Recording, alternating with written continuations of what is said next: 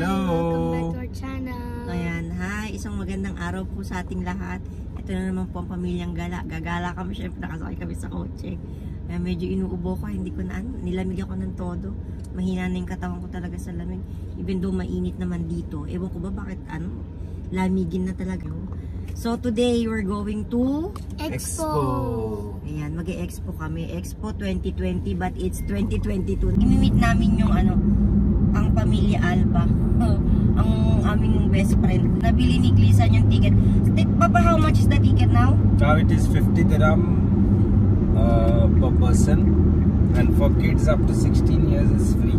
Yeah, it was 100 plus before, no? 195 something. Uh, it was 195. So, dahil magko-closing na sila, uh, till March na lang, nagbaba na ng March ticket. So, till March 19 na lang sila nagbaba na ng ticket. So, this is the time na para pumunta doon. Even though alam ko na full pack doon kasi today is Sunday, it's holiday. So, for sure, maraming tao. Uh, itatry kong ano, siguro ilan lang kasi super dami daw, hindi daw nila kayang i uh, how to say this, Papa? We cannot visit the whole area for one day. Yeah, that's how.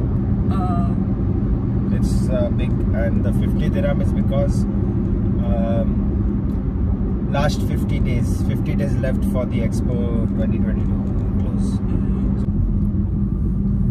you know, ang ganda talaga. It's really, uh, what it is, Papa? Um, Huge. not only huge, it's, uh, Majestic. how? Ginormous. no, I forgot my English. No, no, no. Google. It's very successful. How to how to say that in another term? I- It it's is. really, know, it's emphatic. Ewan ko ano yung English ko, hindi ko na maalala. Well done.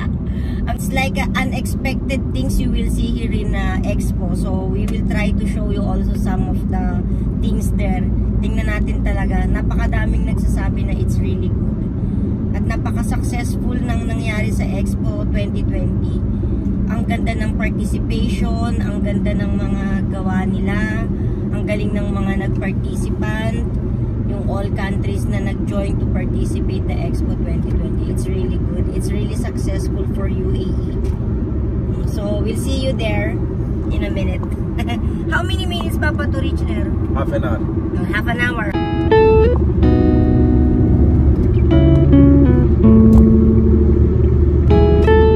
What is the exact location of that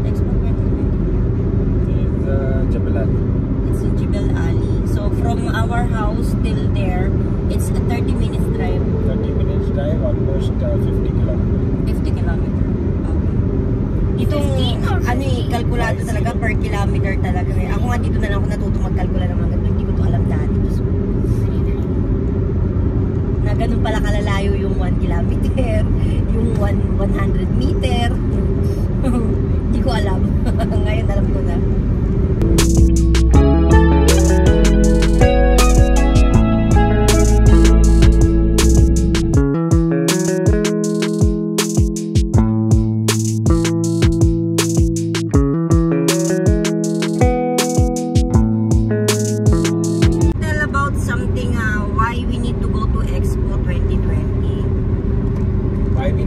Expo 2020? So Expo happens only five years, and it uh, the last Expo was in Milan, Italy. So we are very lucky to have this time in Dubai. So this is like uh, a one-time opportunity. So we are lucky to visit the Expo without uh, traveling here and there. You know, Oh, sabi nga niya sa it's like a privilege and it's really opportunity for us to visit because we don't need to travel abroad just to go and participate for Expo. Okay, so what you're expecting there, Gab? I'm expecting to see uh, Lots of food.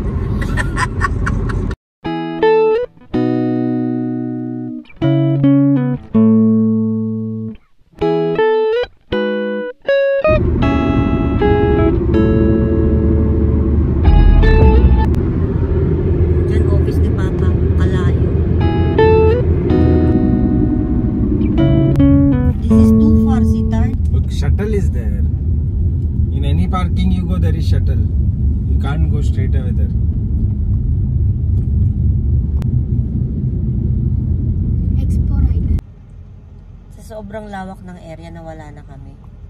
O fully parked na. Full na yung mga parking area. Grabe. As in jam pack. Ask this guy. Hey bro, uh, which parking I can put? Public parking, Uh, there is any other parking? private parking, 95 dirham. Full day? Yeah, yeah, And? And public parking? free. Where is public Okay, parking? now make U-turn Huh? Back to the exit. Huh? There's a U-turn by the right. Okay. You turn by the right, straight to the highway. Okay. Before you, before you get to that red cone, see that red cone over there? Uh-huh. So maintain your left lane, Okay. straight down to public parking. What it's called world parking? Yeah? It's called world parking. No? Okay, are you going to, do you want to go, go to world parking?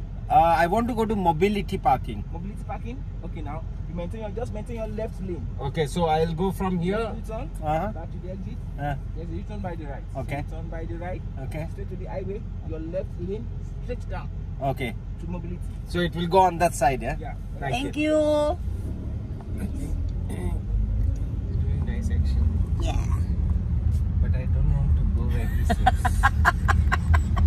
Kagara talaga ni Papa kahit kailan. Pinagsayo mo pa yung nagbibigay ng instruction tapos hindi rin susunod. Nakabwisit talaga to kahit kailan. As Lawrence now call him where he is now. Tell him we're lost here inside.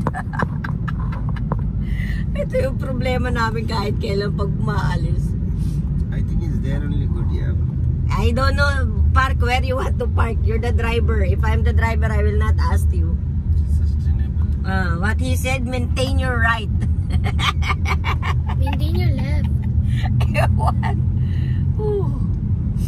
So, ang nangyari pala, kailangan pala, eh, mag-park muna kami dito sa malayo, tapos sasakay kami ng shuttle, papasok sa loob. Ang dami ko na, nakikita ng shuttle. Naguguluhan yung utak ko.